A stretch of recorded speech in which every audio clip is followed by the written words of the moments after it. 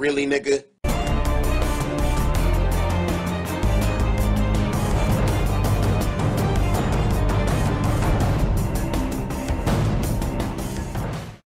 Et salut à tous et à toutes, c'est Maclec. Alors, petite narration vite fait.